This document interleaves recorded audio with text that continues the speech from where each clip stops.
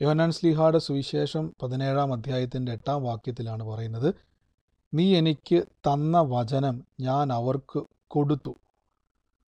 അത് അവരത് കൈക്കൊണ്ട് ഞാൻ നിന്റെ അടുക്കൽ നിന്ന് വന്നിരിക്കുന്നു എന്ന് സത്യമായും അറിഞ്ഞു.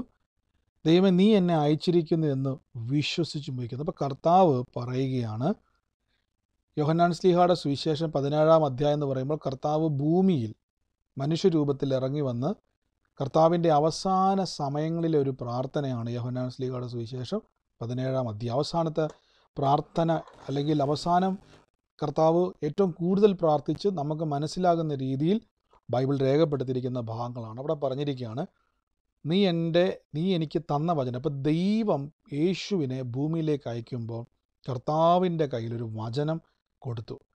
എനിക്ക് തന്ന വചനം ഞാൻ അവർക്ക് കൊടുത്തു. അവനത് കൈക്കൊണ്ട് ഞാൻ നിന്റെ അടുക്കൽ നിന്ന് വന്നിരിക്കുന്നുവെന്ന് സത്യമായും അറിഞ്ഞ് ദൈവം എന്നെ അയച്ചു എന്ന് വിശ്വസിച്ചു മുരിക്കുന്നത് അപ്പോൾ രണ്ട് കാര്യം ശ്രദ്ധിച്ചോണം. യേശു വചനവുമായിട്ടാണ് വന്നത്. യേശുവിന്റെ കയ്യിലിരുന്ന വചനം ശിഷ്യന്മാർക്ക് കൊടുത്തു. ശിഷ്യന്മാർ എന്ത് ചെയ്തു? ആ വചനം വിശ്വസിക്കുകയും യേശു ദൈവത്തിന്റെ അടുക്കൽ നിന്ന് വന്നിരിക്കുന്നു എന്ന് വിശ്വസിച്ചു ഇരിക്കുന്നു അപ്പം രണ്ട് കാര്യമല്ല മൂന്ന് കാര്യങ്ങളാണ് പറഞ്ഞിരിക്കുന്നത്. ഒന്ന് യേശു വചനവുമായി വന്നു. രണ്ട് വചനം ശിഷ്യന്മാർക്ക് കൊടുത്തു. മൂന്ന് യേശു ദൈവത്തിൽ നിന്ന് വന്നിരിക്കുന്നു എന്ന് വിശ്വസിച്ചു. അപ്പോൾ മൂന്ന് കാര്യം ശ്രദ്ധിച്ചോണം. ഒന്ന് വചനം രണ്ട് യേശു വന്നിരിക്കുന്നുള്ള വലിയ ഒരു വലിയൊരു വാസ്തവമാണ്. കർത്താവ് ഈ ഭൂമിയിലേക്ക് വന്നത് വലിയൊരു അത്ഭുതമാണ്. ആർക്ക് വേണ്ടിയാണ് വന്നിരിക്കുന്നത്? നിങ്ങൾക്കും എനിക്കും വേണ്ടിയാണ്. അപ്പോൾ കർത്താവിന്റെ കയ്യിൽ എന്തുണ്ട്? എനിക്ക് തരാൻ വചനമുണ്ട്. എന്താണ് വചനം? യേശു പറഞ്ഞു നമുക്കറിയാം യോഹന്നാൻ സ്ലീഹയുടെ സുവിശേഷം മൂന്നാം അധ്യായത്തിന്റെ പതിനാറാം വാക്യത്തിൽ മർമ്മപ്രധാനമായ ഒരു വാക്യമാണ് തന്റെ ഏകജാതനായ പുത്രനായ ക്രിസ്തുവിൽ വിശ്വസിക്കുന്ന ഏവനും നശിച്ചു പോകാതെ നിത്യജീവൻ പ്രാപിക്കുവാൻ തക്കവണ്ണം ദൈവം യേശുവിനെ നൽകുവാൻ തക്കവണ്ണം ലോകത്തെ സ്നേഹിച്ചു എന്ന് പറയുന്നത്. യേശുവിൽ വിശ്വസിക്കുന്നവൻ നശിക്കത്തില്ല. നിങ്ങളുടെ ഹൃദയത്തിന്റെ അകത്ത് ഇത് പതിയട്ടെ. യേശുവിലാണോ നിങ്ങൾ വിശ്വസിക്കുന്നത്? ആരൊക്കെ നശിപ്പിക്കാൻ നോക്കിയാലും നിങ്ങൾ നശിക്കത്തില്ല. ഞാൻ പിശാശിന്റെ ഒരു തന്ത്രം പറയാം. നമ്മൾ ഈ ലോകത്തിൽ ടി വി ഒക്കെ വെച്ച് കഴിയുമ്പോൾ ഒത്തിരി പരസ്യങ്ങൾ കാണാൻ പറ്റും അല്ലേ? ഒത്തിരി പരസ്യങ്ങൾ. ആ പരസ്യത്തിന്റെ അകത്ത് ചില പ്രോഡക്റ്റൊക്കെ പരിചയപ്പെടുത്തുമ്പോൾ ഇപ്പം നിങ്ങൾക്ക് വളർച്ച നിങ്ങളുടെ കുഞ്ഞുങ്ങൾക്കൊക്കെ ആയിക്കോട്ടെ അല്ലെങ്കിൽ മറ്റെന്തിലും ആയിക്കോട്ടെ വളർച്ച വർദ്ധിപ്പിക്കുവാൻ എല്ലുകൾക്ക് ബലം കൂട്ടുവാൻ എന്നൊക്കെ പറഞ്ഞുകൊണ്ട് ചില പ്രോഡക്റ്റുകൾ പരസ്യം കാണിക്കുന്നുണ്ട്. അപ്പോൾ പരസ്യം കാണിക്കുമ്പം നമുക്ക് ആ പരസ്യത്തിലുള്ള പ്രോഡക്റ്റ് വിശ്വസിക്കണമെങ്കിൽ നമ്മളെ വിശ്വസിപ്പിക്കുന്ന രീതിയിൽ എന്ത് ചെയ്യണം? ചില കാഴ്ചകൾ കാണിക്കണം. അപ്പോൾ അവരെന്ത് ചെയ്യുന്നു വെച്ച് കഴിഞ്ഞാൽ ഇത് കുടിച്ചു കഴിയുമ്പം ഒരു ആനിമേഷൻ വീഡിയോ പോലെ തന്നെ കുഞ്ഞിന്റെ ഉള്ളിൽ ചെല്ലുന്നു. പെട്ടെന്ന് ഇങ്ങനെ കുഞ്ഞ് വളരുന്നു എല്ലുകൾക്ക് ബലം കിട്ടുന്നു. അപ്പോൾ ഇതിങ്ങനെ നമ്മളിങ്ങനെ എല്ലാ ദിവസവും ഓരോ പരസ്യങ്ങൾ എന്ത് ചെയ്തുകൊണ്ടിരിക്കുകയാണ്. ഇങ്ങനെ ടി വി കണ്ടുകൊണ്ടിരിക്കുക. അപ്പോൾ ഇത് കാണുമ്പോൾ നമ്മുടെ മനസ്സിലൊരു തോന്നല ഇത് മേടിച്ച് കുഞ്ഞുങ്ങൾക്ക് കൊടുത്താൽ അല്ലെങ്കിൽ ഇത് മേടിച്ച് ഞാൻ കഴിച്ചാൽ എന്റെ എല്ലിന് ബലം കിട്ടുമോ? നമ്മളെ ആ പരസ്യത്തിലൂടെ അവർ വിശ്വസിപ്പിക്കുകയാണ്. ഇത് നിങ്ങളുടെ ജീവിതത്തിൽ ഇതേപോലെ പ്രവൃത്തി തലത്തിലേക്ക് വരും. ചിലപ്പോൾ ഞങ്ങൾ നമ്മളത് മേടിച്ച് ആ പ്രോഡക്റ്റ് കഴിച്ചു കഴിഞ്ഞാൽ ചിലപ്പോൾ ഒരു വ്യത്യാസവും കാണത്തില്ല. പക്ഷെ നമ്മളെ വിശ്വസിപ്പിക്കുക എന്നുള്ളതാണ് അവരുടെ ലക്ഷ്യം. അത് മേടിക്കണം അത് വിശ്വസിപ്പിച്ച് അത് മേടിച്ച് നിങ്ങളതിൽ ഭാഗമാകണം ഉപയോഗിക്കണം. അതിന് റിസൾട്ട് എന്താണെന്നുള്ളതല്ല നിങ്ങളെ കൊണ്ടത് മേടിപ്പിക്കുക. അപ്പോൾ പിശാശിന്റെ തന്ത്രം എന്ന് ചോദിച്ചാൽ നിങ്ങളെ കാണിക്കുന്ന കാഴ്ചകളിലൂടെ നിങ്ങളെ അവൻ വിശ്വസിപ്പിക്കുവാൻ ശ്രമിക്കുകയാണ്. ഇതാണ് നിങ്ങളുടെ ലൈഫിൽ സംഭവിക്കുവാൻ പോകുന്നത് എന്ന് നമ്മൾ എന്ത് ചെയ്യുകയാണ്? ലോക്ക് ചെയ്യുകയാണ് നമ്മൾ കാണുന്ന കാഴ്ചകൾ നമ്മൾ കേൾക്കുന്ന വാക്കുകൾ നമ്മളെ കൊണ്ട് പറയിപ്പിക്കുവാൻ ശ്രമിക്കുന്ന കാര്യങ്ങളെല്ലാം നമ്മളെ വിശ്വസിപ്പിക്കുവാൻ നോക്കുന്നതാണ്. ഇവിടെ കർത്താവ് പറയുകയാണ് ഞാൻ ഇവിടെ വന്നു. ഇപ്പം നമുക്കറിയാം യേശുക്രിസ്തു ശുശ്രൂഷിക്കുന്ന സമയത്ത് കർത്താവ് അത്ഭുതം ചെയ്യാൻ വേണ്ടി നിൽക്കുന്ന സമയത്ത് കുറേ ആളുകൾ പറയുന്നുണ്ട്. ഇത് നമ്മുടെ യോസഫിന്റെയും മറിയയുടെയും യോഹന്നാന്റെയും സഹോദരനായ യേശുവല്ലേ എന്ന് ചിലർ അഡ്രസ്സ് ചെയ്യുന്നുണ്ട്. ബൈബിൾ വായിക്കുമ്പോൾ ഞാൻ ആ വാക്ക് എടുക്കുന്നില്ല. അപ്പോൾ യേശു പറയുന്നുണ്ട് അവിടെ അവരുടെ അവിശ്വാസം നിമിത്തം യേശു അത്ഭുതം ചെയ്തില്ല. അപ്പോൾ എന്താണ് അവിടെ അവിശ്വാസം എന്ന് പറയുന്നത്? അവർ യേശുവിനെ ചെറുപ്പം മുതൽ അറിയാം. എങ്ങനെ അറിയാം?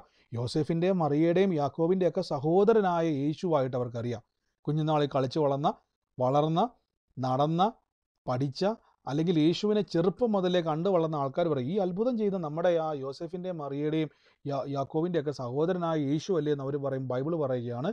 യേശു പറയുകയാണ് അവരുടെ അവിശ്വാസം നിമിത്തം. അപ്പോൾ എന്താണ് അവരുടെ അവിശ്വാസം?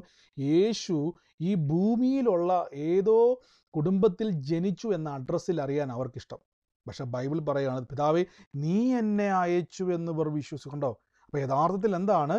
ഇന്ന് ആ കുടുംബത്തിൽ കന്യകാ മാതാവിന്റെ ഉദരത്തിൽ യോസഫ് യോസഫിന്റെ കുടുംബത്തിൽ കർത്താവ് വന്നു എന്നുള്ളതാണ് യഥാർത്ഥ പദ്ധതി. ഹാലെ ലുയ്യ അപ്പോൾ യേശുവിന്റെ യഥാർത്ഥ ഐഡന്റിറ്റി എന്നുള്ളത് സ്വർഗമാണ് അപ്പോൾ ശിഷ്യന്മാരത് വിശ്വസിക്കുന്നു. അതുകൊണ്ടാണ് വള്ളവും വലയൊക്കെ കളഞ്ഞിട്ട് അവർ യേശുവിന്റെ പുറകെ വന്നത്. ഇത് യോസഫിന്റെ മറിയയുടെ യാക്കോവിന്റെ ഒക്കെ സഹോദരനായ യേശു എന്ന് പറഞ്ഞിട്ടല്ല വന്നത്.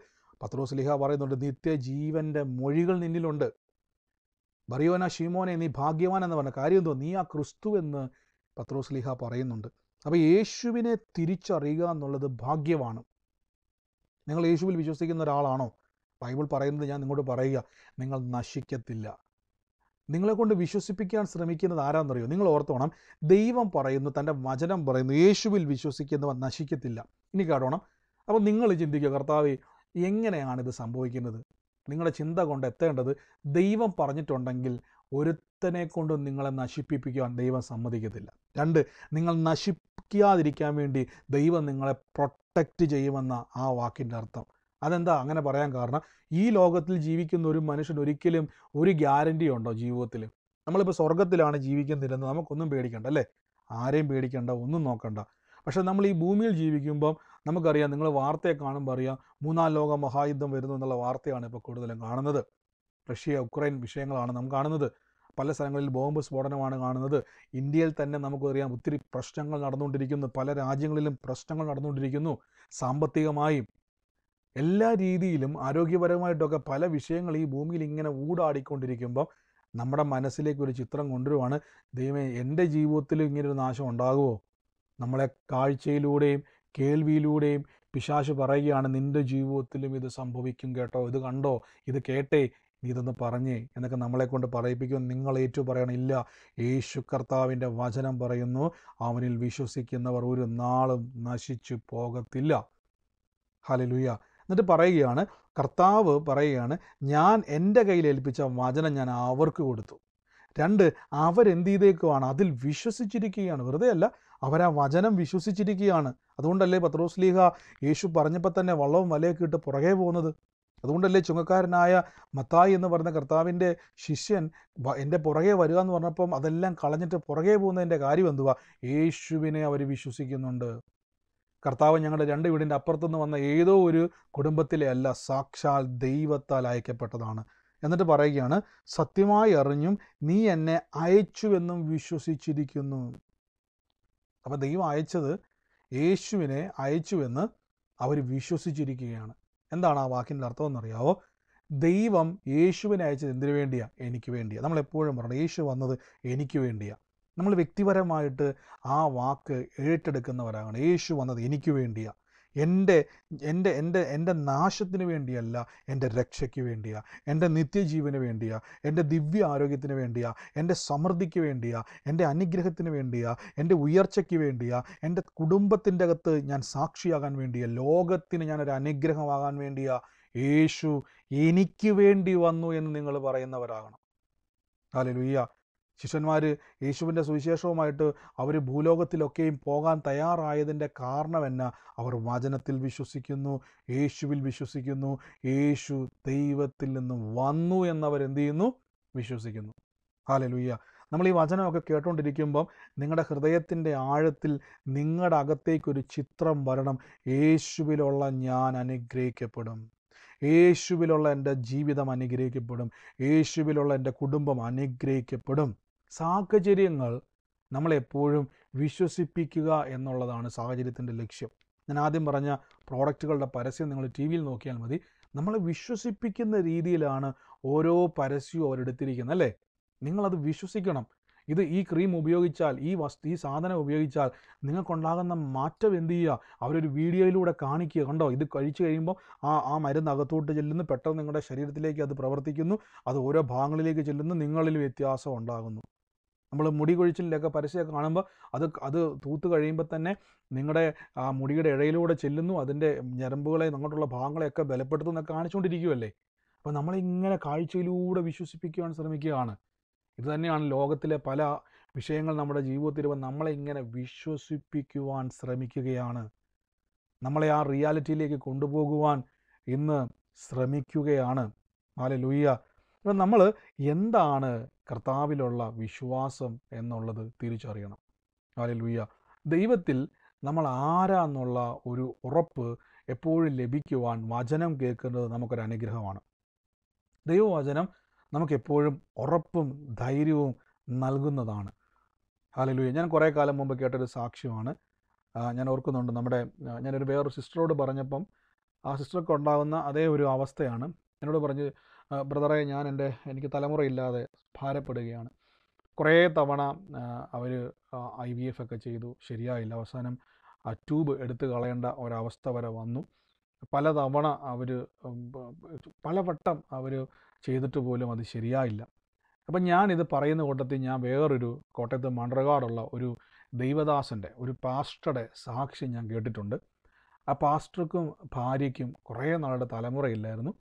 അപ്പോൾ അവർക്ക് ഇതേ വിഷയം തന്നെ ട്യൂബ് റിമൂവ് ചെയ്ത്. എന്തോ ഒരു ഉദര സംബന്ധമായിട്ട് വിഷയം എന്ന് ട്യൂബ് റിമൂവ് ചെയ്തു. കുഞ്ഞുണ്ടാകാൻ ഒരു സാധ്യതയുമില്ല ഒരു സാധ്യത അവർക്കില്ല. ഐ വി എഫ് ചെയ്യാനുള്ള പൈസയൊന്നും അവർക്കില്ല. സാമ്പത്തികമായിട്ട് അതിന് പൈസ ഇല്ലെന്നല്ല അവരതിനു വേണ്ടി ശ്രമിച്ചുമില്ല. പകരം അവരെന്ത് ചെയ്തു? യേശുവിന് ചെയ്യാൻ പറ്റാത്ത വല്ലോ കാര്യമുണ്ടോ? കന്യകയായ മാതാവിന്റെ ഉദരത്തിൽ ബൈബിൾ പറയുന്ന പുരുഷനെ അറിയാകിയാൽ ഇതെങ്ങനെ സംഭവിക്കുമെന്ന് ചോദിക്കുന്നതിന്റെ കാരണം ആ കാലഘട്ടത്തിൽ മാത്രമല്ല ഈ കാലഘട്ടത്തിലും അങ്ങനെ തന്നെയാണ്. സ്ത്രീയും പുരുഷനും ചേരുമ്പോഴാണ് ഒരു തലമുറ ഉണ്ടാകുന്നത്. പക്ഷേ ഇവിടെ ദൂതൻ പറയുകയാണ് നിനക്കൊരു സന്തതിയെ തരാൻ പോവുകയാണ്. അപ്പോൾ ഇത് കന്യകാ മാതാവ് അത് ഏറ്റെടുക്കുമ്പം ബൈബിൾ പറയുന്നു ഞാൻ കർത്താവിന്റെ ദാസി നിന്റെ വാക്ക് പോലെ എന്നിൽ ഭവിക്കട്ടെ എന്ന് പറഞ്ഞത്. അവർ വിശ്വസിച്ച് പ്രാർത്ഥിച്ചു കർത്താവിന് എന്തുകൊണ്ട് എന്റെ ജീവിതത്തിൽ അത്ഭുതം ചെയ്തുകൂടാ? അവരെന്ത് ചെയ്തു? പ്രാർത്ഥിക്കാൻ തുടങ്ങി. പ്രാർത്ഥിക്കാൻ മാത്രമല്ല ഞാൻ ആദ്യം പറഞ്ഞ യേശു പറയുകയാണ് എന്റെ വചനം അല്ലെങ്കിൽ ഞാൻ എന്റെ കയ്യിൽ പിതാവെ അങ്ങ് തന്ന വചനം ഞാൻ ഇവർക്ക് കൊടുത്തിരിക്കുക അപ്പോൾ അവരുടെ കയ്യിൽ എന്തുണ്ട്? വചനമുണ്ട്. അതുകൊണ്ടാണ് പത്രോസ്ലീഹ പറഞ്ഞേക്കുന്നത് നീ ജീവനുള്ള ദൈവത്തിന്റെ പുത്രനായ ക്രിസ്തു എന്ന് പറഞ്ഞു അതൊരു വചനമാണ്. തന്റെ ഏകജാതനായ പുത്രനിൽ വിശ്വസിക്കുന്ന യേശുവിനെ പറ്റി പറയുകയാണ്. ഒരു നാളും എന്ത് ചെയ്യത്തില്ല? നശിച്ചു പോകത്തില്ല. അപ്പം വചനം അവർക്കൊരു ബലമാണ്. ആ വചനം ഉള്ളത് കൊണ്ടല്ലേ നമുക്ക് വിശ്വസിക്കാൻ പറ്റിയത്? അങ്ങനെ ഒരു വചനം ഇല്ലെന്നിരിക്കട്ടെ. കന്യകയായ ഒരു സ്ത്രീ ബൈബിളിൽ പ്രസവിച്ചു എന്നൊരു വചനമില്ലെങ്കിൽ നമ്മൾ ആരും എന്ത് ചെയ്യത്തില്ല. അങ്ങനെ പ്രാർത്ഥിക്കാനും പോകത്തില്ല. ഒന്നും ചെയ്യാൻ പോകത്തില്ല. ഇപ്പോൾ യേശുവിന്റെ തിരുമുറിവിനാൽ രോഗസൗഖ്യം ഇല്ല എന്ന് ബൈബിളിൽ ഇല്ലെങ്കിൽ നമ്മൾ ആരും രോഗസൗഖ്യത്തിന് വേണ്ടി പ്രാർത്ഥിക്കാൻ പോലും പോകത്തില്ല അല്ലേ? കാരണം അങ്ങനെ ഒരു വചനമില്ല. പക്ഷെ വചനമുണ്ടെങ്കിൽ അത് നിങ്ങളുടെ ജീവിതത്തിൽ സംഭവിക്കുക തന്നെ ചെയ്യും. അവർ പ്രാർത്ഥിക്കാൻ തുടങ്ങി കർത്താവി യൂട്രസിൽ അങ്ങനെ എനിക്ക് എന്റെ പറയാൻ അറിയത്തില്ല. മെഡിക്കൽ സംബന്ധമായിട്ട് എനിക്ക് പറയാൻ അറിയത്തില്ല. എങ്കിലും ഒരു കാര്യം ഉറപ്പാണ് ഒരു കുഞ്ഞുണ്ടാകാൻ ഒരു സാധ്യത എന്റെ അതില്ല എന്നുള്ളത് വാസ്തവമാണ്. അപ്പോൾ അവരെന്ത് ചെയ്തു? ദൈവത്തോട് പ്രാർത്ഥിച്ചു. കർത്താവ് ദൈവത്തിന് കഴിയാത്ത ഒരു കാര്യവുമില്ല. കാരണം ഞങ്ങൾ കേട്ട വചനങ്ങളൊക്കെ പറയുന്നത് അസാധ്യമെന്ന് ലോകം പഠിപ്പിക്കുന്നതും വിശ്വസിപ്പിക്കാൻ ശ്രമിക്കുന്നതല്ല ദൈവസന്നിധിയിൽ കള്ളത്തരങ്ങളാണ് ലോകം പറയുന്നത് ദൈവസന്നിധി വരുമ്പോൾ അത് കള്ളത്തരമാണ് കാര്യം ദൈവം പറയുന്നതാണ് സത്യം. അവരിത് വിശ്വസിച്ച് പ്രാർത്ഥിച്ചു ദൈവം അത്ഭുതം ചെയ്തു. ഇന്നവർക്ക് മൂന്ന് തലമുറകളുണ്ട്. മൂന്ന് തലമുറകളുണ്ട്. ഹലലുയ്യ അപ്പോൾ അവരുടെ മിടുക്കാണോ? അല്ല. അവർ അവർ എന്തെങ്കിലും വലിയ സ്പെഷ്യലായിട്ടൊരു തിരഞ്ഞെടുപ്പോ കോളിങ്ങോ ഉള്ളത് കൊണ്ടാണ്. അല്ല ഇവിടെ കേട്ട വചനം എന്ത്? യേശു പറഞ്ഞു പിതാവേ അങ്ങ് എനിക്ക് തന്ന വചനം ഞാൻ ഇവർക്ക് കൊടുത്തു. ഇവർ ആ വചനത്തിൽ വിശ്വസിക്കുന്നു. രണ്ട് നീ എന്നെ അയച്ചിരിക്കുന്നു എന്ന് വിശ്വസിക്കുന്നു. രണ്ട് കാര്യം ശ്രദ്ധിച്ചോണം. വചനത്തിൽ വിശ്വസിക്കുന്നു ദൈവത്തിലും വിശ്വസിക്കുന്നു. വചനത്തിൽ വിശ്വസിക്കുമ്പോൾ നിങ്ങൾ ഓർത്തോണം വചനം എന്നുള്ളത് ദൈവം കൊടുത്തു വിട്ടതാണ്. ഇനി ആ വചനം പ്രവർത്തിക്കണമെങ്കിൽ ഞാൻ ദൈവത്തിൽ വിശ്വസിക്കണം. ദൈവത്തിന് ഈ വചനത്തെ ചലിപ്പിക്കുവാൻ കഴിയും. ഹാലലൂയ്യ ദൈവത്തിന് ഈ വചനത്തിന്റെ അകത്ത് ജീവൻ ഉളവാക്കുവാൻ കഴിയും. ഹാലലൂയ്യ ഇപ്പം നിങ്ങളൊരു വചനം വെച്ച് പ്രാർത്ഥിക്കുവാന്ന് വിചാരിച്ചു? ഒരു വചനം വെച്ച് പ്രാർത്ഥിക്കുമ്പോൾ ആ വചനം ചലിക്കണമെങ്കിൽ അതിന് ജീവൻ വെക്കണമെങ്കിൽ ദൈവം വിചാരിക്കണമെന്ന് നിങ്ങൾ തിരിച്ചറിയണം. ഹാലലൂയ്യ ഇപ്പം നിങ്ങളുടെ കൈവശം ഇരിക്കുന്ന ബൈബിളിൽ ഒരു വചനം. നിങ്ങളിപ്പോൾ ഒരു ബൈബിളിലെ വചനം നിങ്ങളൊരു പേപ്പറിൽ എഴുതി.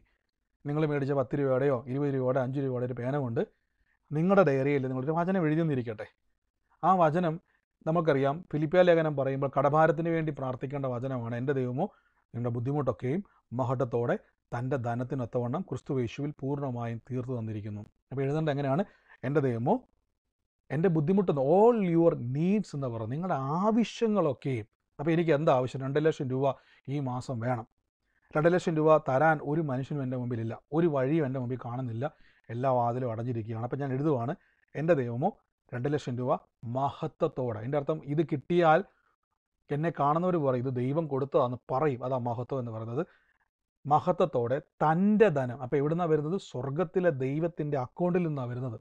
തന്റെ ധനം. മിശ്രമിൽ നിന്ന് പുറപ്പെട്ട ജനത്തിന് വേണ്ടി ദൈവം തന്റെ ധനത്തിൽ നിന്നാണ് ആകാശത്തുനിന്ന് മന്ന ഒഴിച്ചത്. ഏതെങ്കിലും ഒരു ബോർമയിൽ ഉണ്ടാക്കിയതല്ല. ഏതെങ്കിലും ഹോട്ടലിൽ നിന്ന് കിട്ടിയതല്ല തന്റെ ധനത്തിൽ നിന്ന് വന്ന ദൈവത്തിന്റെ ആയ ആ ഒരു ഭണ്ഡാരത്തിൽ നിന്നാണ് വന്നിരിക്കുന്നത്. അപ്പം തന്റെ ധനത്തിനൊത്തവണ്ണം ക്രിസ്തുവേശുവിൽ പൂർണമായും തീർത്തു തരും. അപ്പം നിങ്ങളിത് ഈ വചനം ഇങ്ങനെ എഴുതി വെച്ച് പ്രാർത്ഥിക്കുമ്പം നിങ്ങളുടെ പേന നിങ്ങളുടെ ഡയറി നിങ്ങളുടെ പേനയിലുള്ള മഷി ഇതൊക്കെ നിങ്ങളുടേതാണ് അല്ലേ? ഈ വചനം എന്നുള്ളത് വാക്കുകളാണ്. ഇതിന് ജീവൻ വെക്കുന്നതാണ് അത്ഭുതം. മനസ്സിലായോ? ഇതിന് ജീവൻ വെക്കണമെങ്കിൽ ദൈവത്തെ കൊണ്ട് മാത്രമേ പറ്റത്തുള്ളൂ. ദൈവം എന്നോട് പറയുന്നു നീ വിശ്വസിക്കുക ഈ വചനത്തിലൂടെ ഞാൻ നിനക്ക് വേണ്ടി പ്രവർത്തിക്കുക. അപ്പം ഞാൻ ആരില്ല അവിടെ വിശ്വസിക്കുന്നത്? ദൈവത്തിൽ വിശ്വസിക്കുക. വചനത്തിലൂടെ ഞാൻ ദൈവത്തെ വിശ്വസിക്കുക. മനസ്സിലായി? ഈ വചനമുള്ളത് കൊണ്ടാണ് എനിക്ക് വിശ്വസിക്കാൻ പറ്റിയത്. അല്ലെ? ആരെ വിശ്വസിക്കാൻ? ദൈവത്തിൽ. ഈ വചനം തന്ന ആൾ ദൈവമാണ്. ദൈവം അങ്ങനെ പറഞ്ഞിട്ടുള്ളതുകൊണ്ട് ദൈവം എനിക്ക് വേണ്ടി വചനത്തിലൂടെ പ്രവർത്തിക്കും. അപ്പോൾ ഞാൻ ഈ വചനം പറഞ്ഞ് പ്രാർത്ഥന എന്റെ ദൈവമോ രണ്ട് ലക്ഷം രൂപ തരും. എങ്ങനെ തരും? ദൈവത്തിന്റെ ധനത്തിലൊത്തോണം തരും. എവിടുന്ന് തരും? ദൈവത്തിന്റെ ഭണ്ഡാരത്തിൽ നിന്ന് തരും. എങ്ങനെ തരും? അത്ഭുതമായി തരും. ആര് ചെയ്യും? ദൈവം ചെയ്യും. കണ്ടോ? അപ്പം നമ്മുടെ വിശ്വാസം പോകുന്നത് കൊണ്ട്. ദൈവം ചെയ്യും. ദൈവം ചെയ്യും. അപ്പം ഇങ്ങനെ നമ്മൾ പറഞ്ഞുകൊണ്ടും പ്രാർത്ഥിച്ചുകൊണ്ടിരിക്കുമ്പം കുറച്ച് കഴിയുമ്പോൾ എന്ത് ചെയ്യും? നമ്മൾ ഈ ലോകത്ത് ഞാൻ പിശാശിനെ ഉയർത്തുമല്ല നമ്മുടെ ഉള്ളിലേക്ക് ചില ചിന്ത കൊണ്ടുവിടും ദേ എവിടുന്ന് കിട്ടാനാ? എങ്ങനെ വരാനാ? ദേ കടക്കാരൻ നിന്നെ വിളിച്ചുകൊണ്ടിരിക്കുന്നു. അങ്ങനെ ഓരോ കാഴ്ചകളും ഫോൺ കോളുകളും കൊണ്ടുവന്ന് കൊണ്ടുവന്ന് നമ്മളെ ഞെരുക്കാൻ തുടങ്ങും. നമ്മളെ വിശ്വസിപ്പിക്കാൻ യഥാർത്ഥത്തിൽ ഇതല്ല സത്യം കേട്ടോ. പൈസ കൊടുത്തില്ലെങ്കിൽ എല്ലാവരും ചെയ്യുന്ന പോലെ നീ ആത്മഹത്യ ചെയ്യുകയുള്ളൂ. ഇന്ന് നമ്മളെ കൊണ്ട് ഇങ്ങനെ കുറേ വാഴ്ചകളും കുറേ പിക്ചറുകളും കുറേ വീഡിയോസുകളും എല്ലാം കാണിച്ച് കാണിച്ച് കാണിച്ച് നമ്മളെ വിശ്വസിപ്പിക്കാൻ നോക്കുമ്പം നിങ്ങൾ എന്ത് ചെയ്യണം? ദൈവത്തെ വിശ്വസിക്കണം. എങ്ങനെ വിശ്വസിക്കണം? ദൈവം എനിക്കറിയത്തില്ല. പക്ഷെ ഒരു കാര്യം എനിക്കറിയാം. കർത്താവ് ഈ വചനത്തിലൂടെ എനിക്ക് വേണ്ടി പ്രവർത്തിക്കും. യേശു പറഞ്ഞു പിതാവേ നീ എന്റെ കയ്യിൽ തന്നിട്ടുള്ള വചനം ഞാൻ ഇവർക്ക് കൊടുത്തേക്കുക ഇത് കിട്ടിയപ്പോഴാണ് പത്രോസ് പറഞ്ഞത് ബറിയോന ഷിമോനെ നീ ഭാഗ്യവാൻ. നിനക്കത് മനസ്സിലായി കേട്ടോ? ഹാലലുയ്യ. അപ്പോൾ ദൈവത്തെ ഞാൻ തിരിച്ചറിയണം. കർത്താവിനെ ഞാൻ എങ്ങനെ തിരിച്ചറിയുന്നത്? ദൈവത്തിന്റെ വചനം ഞാൻ വിശ്വസിക്കുമ്പം ആ കർത്താവ് എന്റെ ജീവിതത്തിൽ പ്രവർത്തിക്കുന്ന ഒരു മാർഗമാണ് വചനം. വചനം കേൾക്കാത്തപ്പോൾ നമുക്ക് എന്താ നമുക്ക് ഒരു ഒരു ഒരു ചാൻസ് എവിടുന്ന? വചനം കേൾക്കുമ്പോൾ വചനത്തിൽ അങ്ങനെ ഉള്ളതുകൊണ്ടാണ് നമുക്ക് വിശ്വസിക്കുക ദൈവം അങ്ങനെ പറഞ്ഞിട്ടുണ്ട് കേട്ടോ. നമ്മൾ ബലം പിടിക്കരുത്. പലപ്പോഴും ഞാൻ എപ്പോഴും പറയുന്നൊരു കാര്യമാണ്. നമ്മൾ പറയും കർത്താവ് ഇത് ചെയ്തേ പറ്റത്തുള്ളൂ ചെയ്തേ പറ്റത്തുള്ളൂ. കർത്താവിന്റെ അത്ഭുതം. നമ്മളെന്തോ സ്ട്രഗിൾ ചെയ്യരുത്. കർത്താവെ അങ്ങേ അങ്ങാണ് ഈ വാക്ക് തന്നിരിക്കുന്നത്. അങ്ങേക്ക് മാത്രമേ ഇത് പ്രവർത്തിപ്പാൻ കഴിയത്തുള്ളൂ. അങ്ങ് ശക്തനാണ്. നമ്മൾ ദൈവത്തെ അങ്ങ് സ്തുതിച്ചോണം. കർത്താവിനെ കൊണ്ട് പറ്റും. കർത്താവ് ഇത് വിശ്വസിക്കുന്നത് പോലും കർത്താവിന്റെ കൃപയാലല്ലേ. ആമേൻ.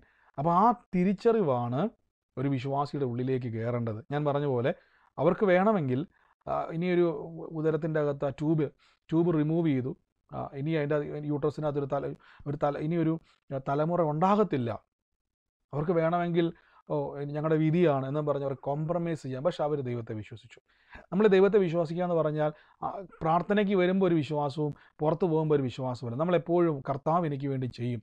യേശുവിനെ ഉയർത്തുന്നവരായിരിക്കണം നമ്മുടെ ജീവിതത്തിൽ അല്ലാതെ യേശുവും ഞാൻ യേശുവിനെയും വിളിക്കുന്നുണ്ട് ഞാൻ മറ്റേ അവിടെയും പോകുന്നുണ്ട്. അങ്ങനെയാണ് ഒരിക്കലും കിട്ടത്തില്ല കേട്ടോ. നമ്മൾ ഏതെങ്കിലും ബൈബിൾ പറഞ്ഞത് നീ ശീതവാനോ ഉഷ്ണവാനോ ആകുന്ന ഒന്നെങ്കിൽ ശീതവാനാകണം അല്ലെ ഉഷ്ണവാനാകണം. ഒന്നെങ്കിൽ നീ എന്ത് ചെയ്യണം? ദ്രവ്യത്തെ ആഗ്രഹിക്കണം അല്ലെങ്കിൽ ദൈവത്തെ സേവിക്കണം. രണ്ട് വള്ളത്തിലും കാൽ വെച്ച് നമുക്ക് യാത്ര ചെയ്യാൻ പറ്റത്തില്ല. യേശുവിനെ മുറുകെ പിടിച്ചിട്ടുണ്ടോ? ദൈവം തന്നിരിക്കും. ഉറപ്പാണ് ഞാൻ പറയുന്നു. കർത്താവിൽ നിങ്ങൾ ആശ്രയം വെച്ചിട്ടുണ്ടോ? ഒരു ബ്രദറോ ആരും നിങ്ങളെ സഹായിച്ചില്ലെങ്കിലും യേശു നിങ്ങളെ സഹായിച്ചിരിക്കും. ബൈബിൾ പറയുന്നത് പോലെ എന്റെ സഹായം ആകാശത്തെയും ഭൂമിയും ഉണ്ടാക്കിയ ദൈവത്തിൽ നിന്നാണ് വരുന്നത്. അവിടെ കണ്ടോ? ഒരു മനുഷ്യനെ അല്ല അവിടെ അഡ്രസ്സ് ചെയ്യുന്നത്. ദൈവത്തിൽ നിന്നാണ് വരുന്നത്. അപ്പം ഞാൻ എവിടെ പോയാൽ മതി? ദൈവത്തിൽ നിന്ന് എന്റെ ജീവൻ നിലനിൽക്കാൻ ദൈവത്തെ കൊണ്ട് മാത്രമേ പറ്റത്തുള്ളെങ്കിൽ എന്റെ ജീവിതത്തിൽ സൗഖ്യങ്ങളും അത്ഭുതങ്ങളും നടക്കാൻ ദൈവത്തെ കൊണ്ടേ പറ്റത്തുള്ളൂ. മനസ്സിലാക്കുക നമുക്ക് ആർക്കെങ്കിലും ആയുസിനെ നിലനിർത്താൻ പറ്റുമോ തലവേദന മാറ്റാൻ വേണ്ട ഒരു പാരസെറ്റമോൾ എടുത്ത് കഴിക്കാം. മറ്റേതെങ്കിലും ബുദ്ധിമുട്ട് വന്നു കഴിഞ്ഞാൽ നമുക്ക് എന്തെങ്കിലുമൊക്കെ മെഡിസിൻ ചെയ്യാം. പക്ഷേ ആയുസ്സിനെ നിയന്ത്രിക്കാൻ ആരെ കൊണ്ടേലും പറ്റൂ? ഇല്ല. നമുക്കറിയാം ദൈവമാണ് ആയുസ്സിനെ നിയന്ത്രിക്കുന്നത്. ആ ദൈവത്തിന് പറ്റ നിങ്ങൾ നിങ്ങളെ ഇന്ന് മരിക്കാതെ ജീവിപ്പിക്കുവാൻ ആയുസ്സോടെ ജീവിപ്പിക്കുവാൻ കർത്താവിന് കഴിയുന്നുവെങ്കിൽ നിങ്ങളുടെ വിഷയങ്ങൾ എത്ര ചെറുതാണെന്നുള്ള ചെയ്യും മരണത്തേക്കാൾ വലുതാണോ നിങ്ങളുടെ വിഷയം? ആണോ? അല്ല. ഇന്ന് നിങ്ങൾ ഈ ഭൂമിയിൽ നിന്ന് മാറ്റപ്പെട്ടു പോയി എല്ലാം തീർന്നില്ലേ? പക്ഷെ നിങ്ങളെ ഇന്ന് ജീവിപ്പിക്കുന്ന ദൈവത്തിന് നിങ്ങളുടെ ജീവിതത്തിൽ പ്രവർത്തിപ്പാനും കഴിയും. ഏറ്റെടുക്കുക കർത്താവിന് കഴിയാത്ത ഒരു കാര്യവുമില്ല സ്വർഗീയ നല്ല പിതാവേ ഞങ്ങൾ ഈ വചനത്താൽ ഇന്ന് പ്രാർത്ഥിക്കുന്നു. ഈ വചനം കേട്ട ഓരോ മക്കളെയും അനുഗ്രഹിക്കുന്നു. യേശു കർത്താവ് പറഞ്ഞതുപോലെ പിതാവേ അങ്ങ് എന്റെ മേൽ ഭാരമേൽപ്പിച്ച വചനം ഞാൻ ഇവർക്ക് കൊടുത്തിരിക്കുക. ഇവരതിൽ വിശ്വസിച്ചിരിക്കുകയാണ്. ഇവർ ലജിച്ചു പോകത്തില്ല. ഇവരൊരു നാളും നശിക്കത്തില്ല. ഇവർ കർത്താവിന്റെ നാമത്തിൽ അനുഗ്രഹിക്കപ്പെടുമെന്ന് ബൈബിൾ പറയുന്നുണ്ടെങ്കിൽ അതങ്ങനെ തന്നെ അവരുടെ ജീവിതത്തിൽ സംഭവിക്കും. യേശുവെ ഞങ്ങൾ ഈ വചനം കേൾക്കുന്ന ഓരോ മക്കളെ അനുഗ്രഹിക്കുന്നു. ഈ വചനം അവരുടെ ഹൃദയത്തിന്റെ ആഴത്തിൽ പതിയട്ടെ. അവരുടെ തകർന്ന അവസ്ഥകൾ യേശുവിന്റെ നാമത്തിൽ പണിയപ്പെടട്ടെ. അവരെ കാണുന്നവർ അത്ഭുതപ്പെടട്ടെ. യേശുവിന്റെ നാമത്തിൽ സൗഖ്യമായും അത്ഭുതമായും അനുഗ്രഹമായും ഈ വചനം അവരുടെ ജീവിതത്തിൽ പിടിച്ചടക്കുന്ന കൃപയ്ക്ക് നന്ദി. യേശുവിന്റെ അധികാരമുള്ള നാമത്തിൽ തന്നെ. ആമേൻ. എല്ലാ ദിവസത്തെ പോലെ നമുക്ക് വിശ്വാസ പ്രഖ്യാപനങ്ങൾ ഏറ്റുപറയാം. കർത്താവ് എനിക്കത് തന്നതിനായി നന്ദി പറഞ്ഞുകൊണ്ട് ദൈവം എനിക്കൊരു വഴി തുറന്നതിനായി നന്ദി പറഞ്ഞുകൊണ്ട് എല്ലാവരും പറഞ്ഞാട്ടെ. ആമേൻ.